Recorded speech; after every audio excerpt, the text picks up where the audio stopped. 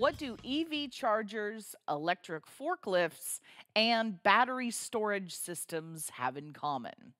If you said a movement toward a greener world, you would not be wrong. Another thing that all of these applications have in common is the need for a DC contactor. If you need to manage the flow of electrical current in any of these applications or any other high power applications like solar inverters or warehouse automation designs, an electromechanical switch that is specifically designed to manage that flow of electrical current is the best way to go. All right. Well, let's dig into the details about DC contactors, shall we? Hi, I'm Amelia Dalton, host of Chalk Talk. In this episode of Chalk Talk, John Hamilton from TE Connectivity and I chat about the what, where, and how of DC contactors. We also explore the benefits that these solutions can bring to a variety of e mobility, warehouse automation, and battery management applications, and how you can get started using a TE Connectivity ECK DC contactor in your next design. And before we get started, don't forget to click that link. There you can find even more information about this topic from TE Connectivity. Hi, John. Thank you so much for joining me. Thank you as well. Okay, so John, we're talking about TE Connectivity's ECK series DC contactors today. But first, John, what exactly is a DC contactor? Sure, yeah, we want to set the stage in the background here. So, a DC contactor is an electromechanical switch specifically designed to manage the flow of electrical current in high power applications It does comprise of several components. Those would be a coil, then the contacts, and then a protective enclosure, which you will see as the physical item. When the coil is activated, it creates a magnetic field that pulls the contacts together, thus closing the circuit and then enabling the current to flow to the load, which the customer is switching. Okay, so John, how does a contactor differ from a relay? There are both similarities and differences. The main difference is that while DC contactors share similar construction principles, they are optimized and designed for high power applications through design choices. These features on DC contactors include larger contacts, better materials, more effective arc suppression, and stronger mechanical construction. Within TE, we do have both relays and contactors in our portfolio. You'll see some of these in the pictures. But when we know to use a DC contactor, that's given by when you're opening or closing a circuit that deals with direct current and high power requirements, a DC contactor is definitely the right choice. Now, we're briefly going to talk about typical applications in the markets that are a good fit for DC contactors. Within TE, we use this term called new energy. And what we mean by this is it's several different aspects within these applications. And it's energy, whether it's wind power or solar power, that it's when that energy is generated. We work with customers at that point and then also through the power transmission phases. So then when substations are involved, and then we also work with customers at the power consumption phase. So this is where we get into a little bit of the battery energy storage systems, which we refer to as BESS, and also the EV charging stations and this is where power consumed, you know, by you and I that we see either in our homes or commercial applications. So we're focusing on the battery energy storage systems, the EV charging infrastructure, as well as warehouse automation for electric forklifts, and also two other applications which are called AGVs, also known as autonomous guided vehicles, and AMRs, autonomous mobile robots, as well. All right. So Let's talk about those applications. What kind of applications would contactors be a good fit for? Yeah, our contactors are a good fit for battery energy storage systems to begin with here. And there are several components within battery energy storage systems. Solar inverters, which helps take the DC power from solar panels and converts that into AC. Then we have power conversion systems, which when you have a bank of batteries, This power conversion system helps to transfer that DC energy into AC transmittable energy.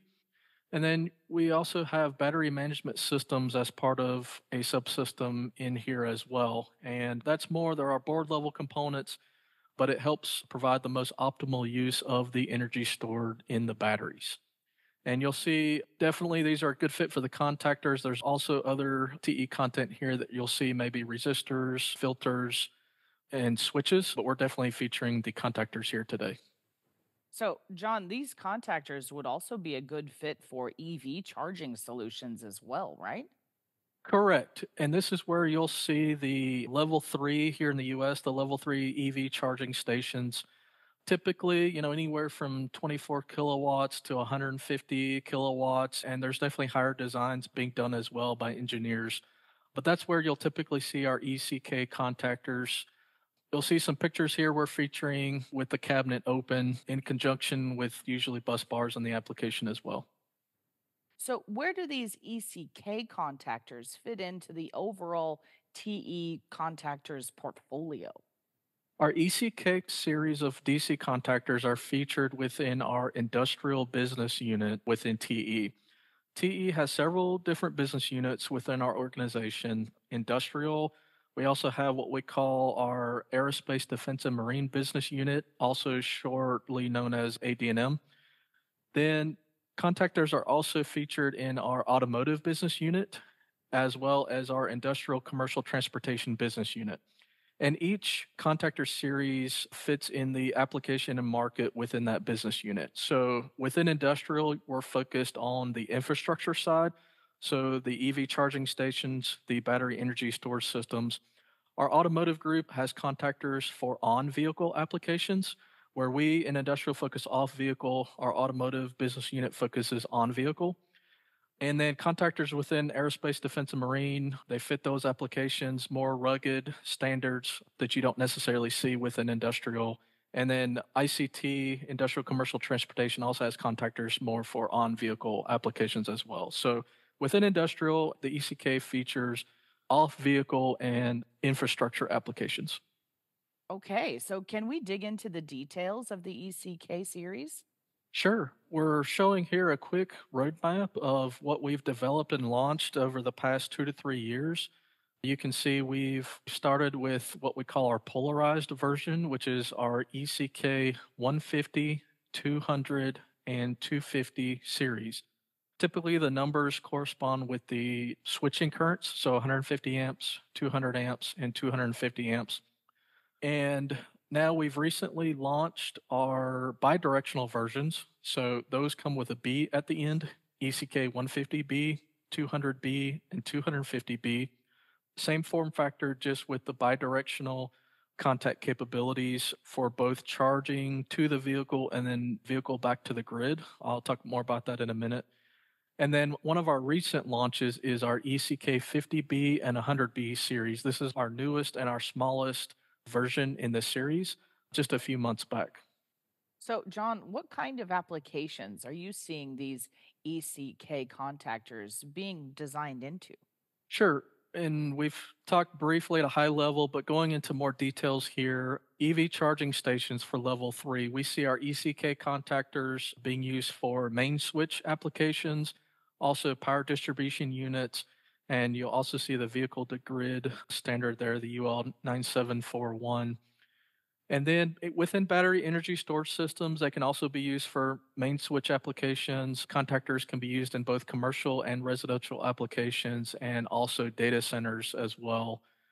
And in the e forklift applications and AGV autonomous guided vehicle applications, that can be used for the main switches for the battery, and there are also power distribution units there too, as well in e-forklifts.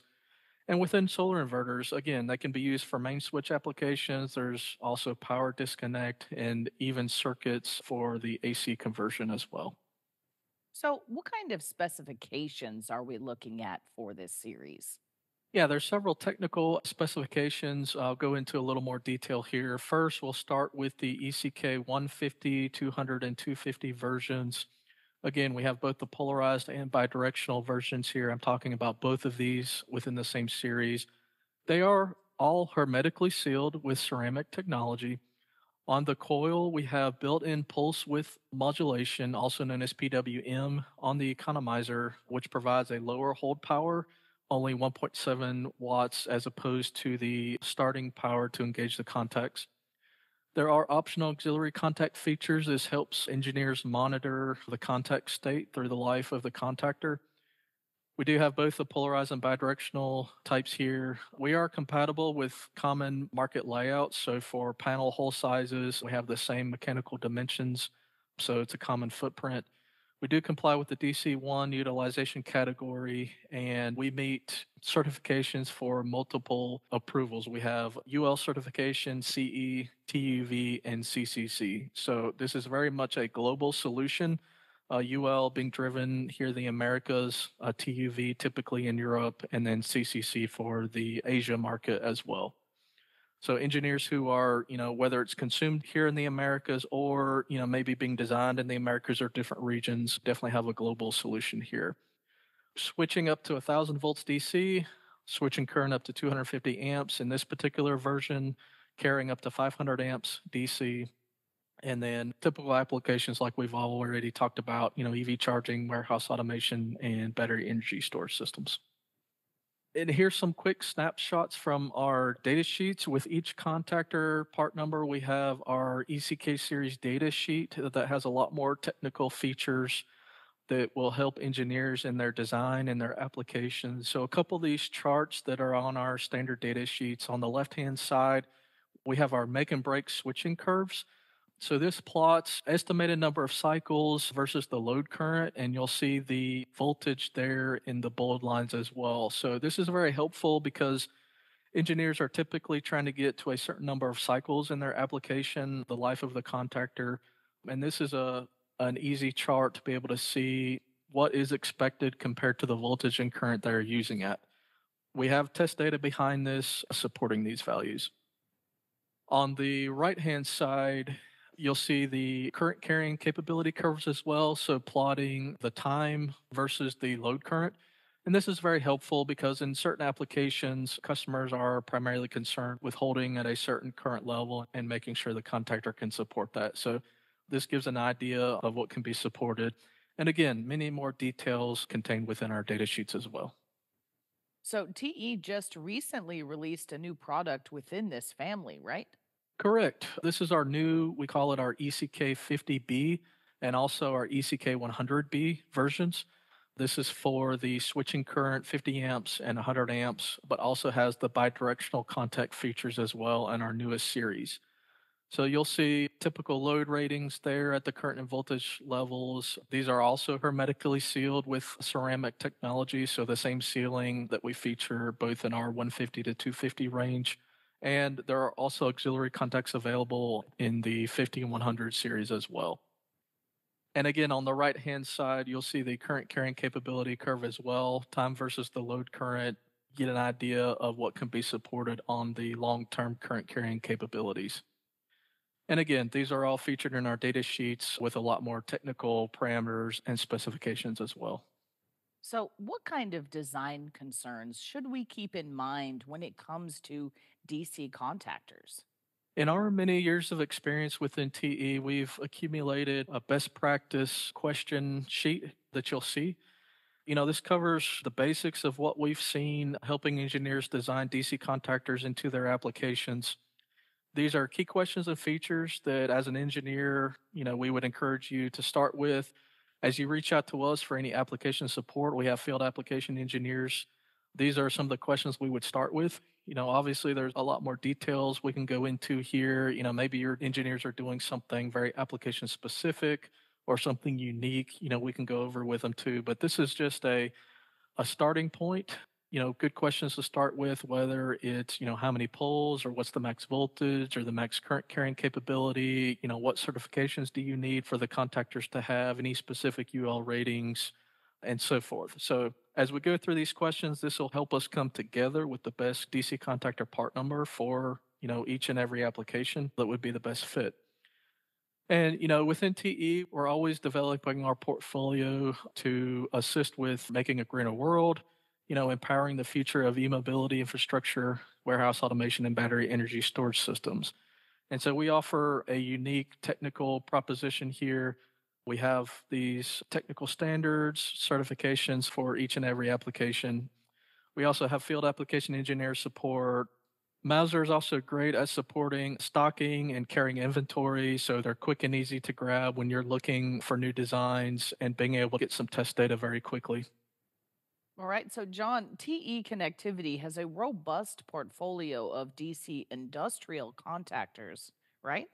We do. You can see the many, many part numbers and configurations that you can pick for your application. So we've highlighted here, you know, whether it's the, the switching current or the coil voltage, we have different coil voltage options depending on your design. Even in addition to this, we also have our higher power versions, our ECP, which we're not featuring here, but as you look into maybe some higher power versions in battery energy storage systems, that's also maybe another series that you can look for as well. Fantastic. Well, John, I think that's all I have time for today. Thank you so much for joining me. Thank you as well. And before we go, you didn't forget to click that link, did you? There you can find even more information about this topic from TE Connectivity. For Chalk Talks, I'm Amelia Dalton from eejournal.com. For more Chalk Talks, head on over to the Chalk Talk section of EE Journal. You can't miss it, it's right across the top. Or head on over to YouTube, youtube.com slash eejournal.